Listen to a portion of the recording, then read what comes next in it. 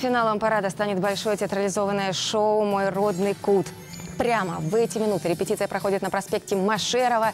Мы только что получили картинку с места. Здесь движение перекрыто. 3 июля 2000 артистов представят все регионы, а в небо взмоет воздушный шар в форме сердца с надписью «Моя родима». Концептуальная тема отличается от прежних лет. Это тема Малой Родины, которая пройдет красной нитью через все мероприятия Дня независимости. Это прославление Беларуси, Малой Родины, городов, деревень и поселков Республики Беларусь с участием а, региональных коллективов. В общем-то, это особенность всех мероприятий праздничных Дню независимости.